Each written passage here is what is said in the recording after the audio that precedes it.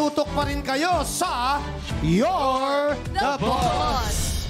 At kanina nga nabitin tayo kung husay o sablay sina TJ at Migo sa tanong na... Sa classic novel na Frank- Frankenstein, ano ang trabaho ni Victor Frankenstein na bumuo ng isang monster? A. Carpenter B. Teacher C. Scientist D. Writer E. Robotics Engineer Ang sagot nyo ay C. Scientist TJ at Migo, ang sagot nyo ay...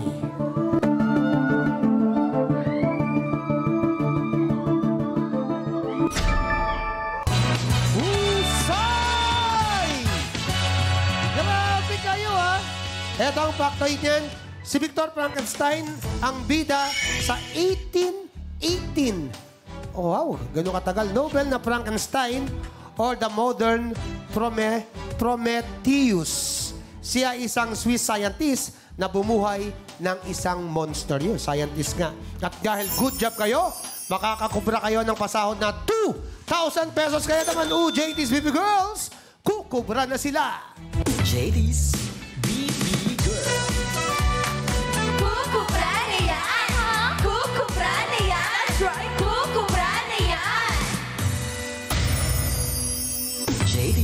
BB Girl. Nakakubra na siya! Job! Nakakubra na siya! Nakakubra na siya! Ganun ba talaga kayo magsalita? Doble-doble. Nakakubra na nga kaya sa ngayon ang mga trabahador nating si TJ at Migo ay may total ipon na na 6,000 pesos. Grabe ang galing yung dalawa. Paano kayo nakakapag-isip ng ganun? Yung, ano yun, inuhulaan nyo yung sagot o alam nyo talaga? Tulad po ng nabanggit ko kanina ko, Ian, we use the process of elimination. Alam mo bang nakakagaya to ng mga boses? Hindi na. Kuya hindi Yani, na. wag mong ibahin. Pag in-English ka, sagutin mo din ang English. What did you say? Hindi, kuya, yung iba hinuhulaan lang namin. Y- Ah, nawala Oo. Tagalog. Alam nyo eh. Pag nag-English na ako, matataraugan na Mat- siya. matatakot ako eh. Hindi tayo dapat po dumating Yeah, sa punto in- na mag-English na si Kuya Yan. Yeah, in in the house, we speak in uh, English fluently. Ang saya nyo. Yeah, since birth, since birth, since my, uh, Yes. Ang saya nila. Oo, talaga naman. O, so paanong gagawin? Oo, eto na nga mga boss ko. Talagang lagi naman po kayo nanonood ng You're the Boss. Galingan po natin sa pagpili ng category pagdating sa job order number 5 nang sa ganun, no, hindi po tayo masiro. At gusto ko lang din pong manawagan na pasensya na kay DJ Mikey. Baka nagkakape lang siya ngayon at sinisisi ko siya. Si DJ Dennis pala ang ating MOD for tonight. Kuya Yani? Yes, thank you, beautiful Jenica. Awat muna tayo saglit sa work, work, work. Jenica, samahan mo muna kami. Eto, ano bang may napansin ka ba kay TJ? Ano yon kuya? Eto nga eh, napansin kasi ni Kuya Yani ang glow up mo. Talagang umpisa pa lang yun na agad. Update mo naman kami sa love life mo na ginawa niya kanina siya daw ay single, no? Pero maliban ba doon, si Ange ba talaga ang nagpapasaya ng puso mo? Alam mo, eh, Ire- Ire-rephrase ko, Kuya Yani. Pagbalik mo ba ngayon sa You're the Boss, ikinatuwa ba ng puso mo makita ang aming baby girl Ange? Nung sinabihan ako na babalik ako sa, sa You're the Boss, talagang sabi ko, wait, kailangan ko i-mark yung calendar ko.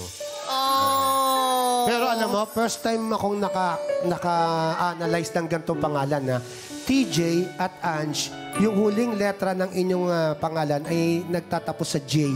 Yes, kuya. TJ, baka kayo na. Ano Anong kinalaman ng Kuya Soulmate Yan? ba Baka yung J ganun, na yan, kuya? jowa. Uy, Uy, pwede. pwede naman joke. Oh, baka Pwede din joy to the world. pwede rin. Diba? Ganda. Pwede rin- ring, Ganda. pwede ring ano, justice is served para sa mga naloko pwede o naman- talagang nagpasakit ng mga puso nyo noon. Oo. Pwede namang pagbigyan mo siya kahit isang beses lang, just once. Just. Pero alam mo minsan kasi may mga dumarating sa buhay mo tapos na nare-rescue ka, natutulungan kang mag-heal. So, just in time. Ay, baka kayo magkatuluyan just in case.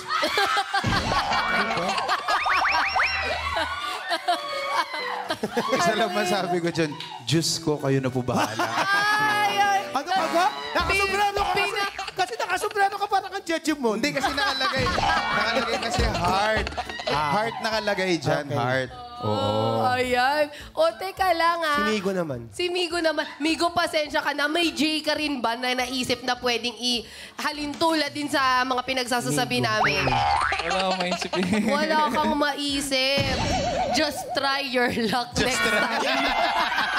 Eto na nga. Tama. Eto naman, Tama. Migo. Usapang puso kasi tayo. Kamusta naman ba ang puso mo? Tama, Migo. Um, Hindi mas- parang bata pa ata. Ilan taong ka Ilan taon na? ka Ah, 21 po. Ay, Pwede, baby no? face Kaya pala, lang siya, oo. kuya. Akala ko minor. Eh, 21 tanong na na pala. si Migo kasi singer siya. Ano yung mga tip Wow. genre ng ah, kinakanta mo? Um, alternative rock po, usually. yung wow, kinakanta ko. alternative rock! Alam na, alam mo yan. ano to? Ano to? Alternative rock. Sige, Ah, Sam. Pwede ba? May kanta naman siya original eh, no? Ibang kanta po eh. Ah, eh, Okay lang, pero Ibang bago genre ta- daw. Kuya Sample. Yani, bago tayo pumunta sa harana, hindi pa niya sinasagot. Are you single Yeah. right ah, now? yes, single po. single. Ay, talaga naman. Nagigay ang mga kababaihan dito sa studio. Ano ba ang gusto mo sa isang babae, Migo?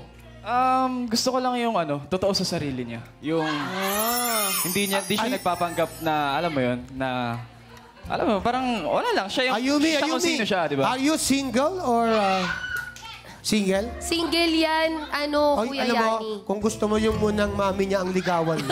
Oo, si, tit, si Tita Bang mo sex lalaki nakausapin kasi mo. yan. yung mami niya single din eh.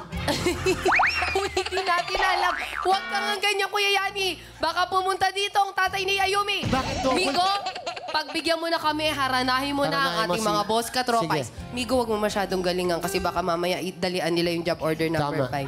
5. Jenny ka nakaka-inlove to. Oo. Migo! Nasa'yo na ako. Ang ganda, Kuya Yani! Ang lamig ng boses! Totoo, at nagustuhan ko yung parang nagba-back up dancing ka. sorry, sorry. Gusto na gustuhan. Para ka lang kumakain ng popcorn. Ang galing mo doon. TJ at Biko, balik trabaho na tayo. Extra sipagan nyo ha, para sa pasahod na worth 5,000 pesos. Heto na ang job order number 5!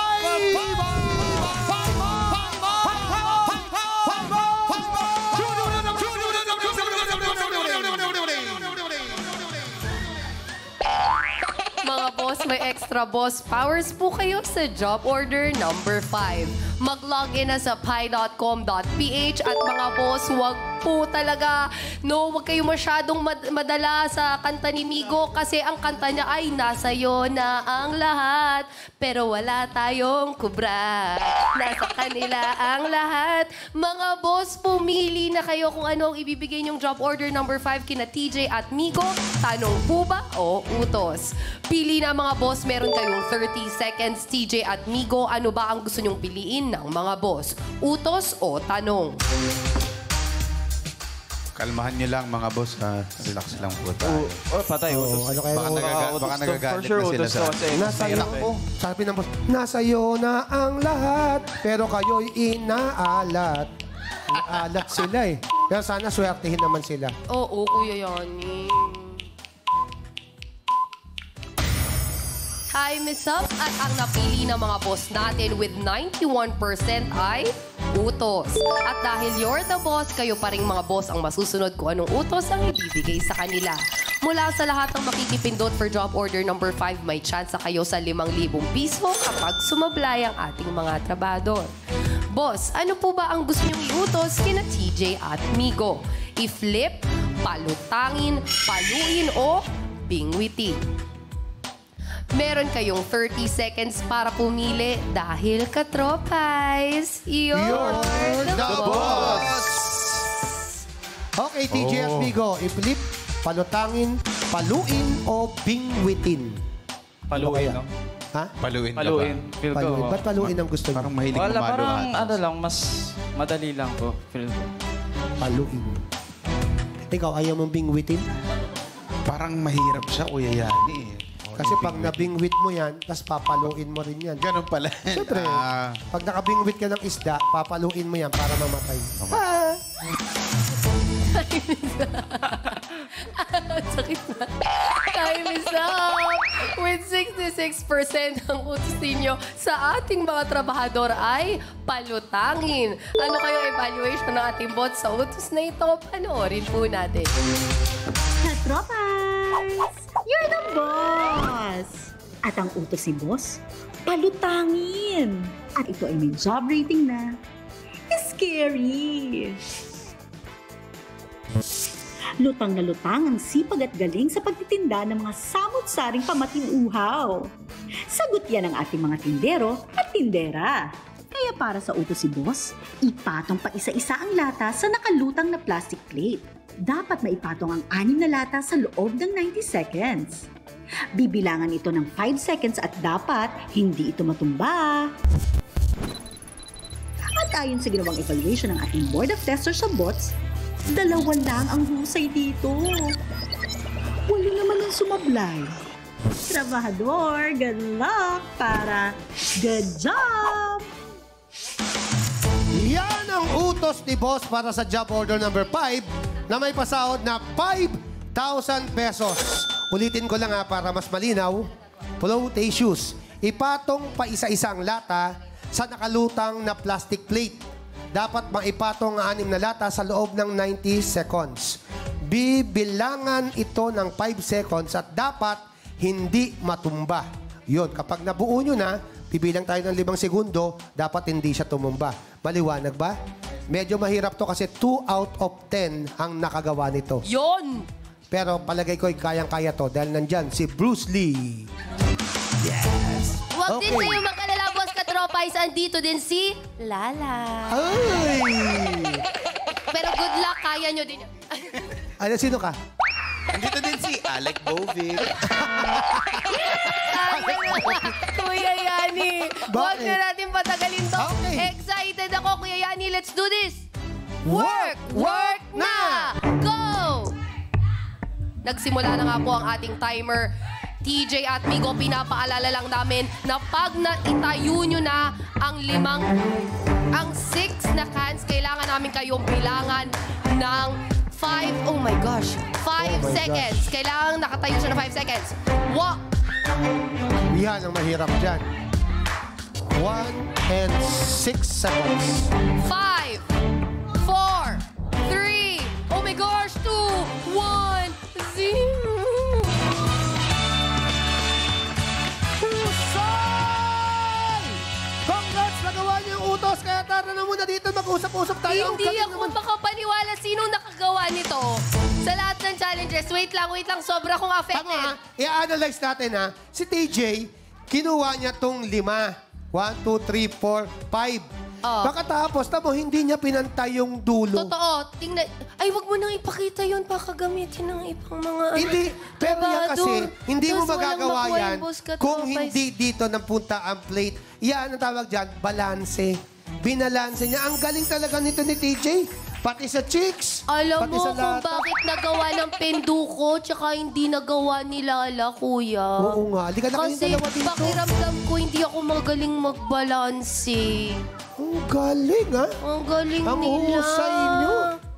Si, ang mga naggumawa niya, si Na, si Iya at Iya at Marco No. na nakasama natin sa tamang hinala, Kuya si Yani. Zeus, at saka si Kid. Yes, si Kid at si Zeus din. Kayo lang ang nakagawa Pero nito. sila lang ang nakagawa ng isang try at isang tao lang. At marami pang oras. Ilang, Nasa ilang one, seconds ang haba pa po. nasa haba pa. one minute pa. 60 seconds pa. Dahil good job kayo, makakakubra kayo ng pasahod na 5,000 pesos. UJD's Baby Girls, kukubra na sila. JD's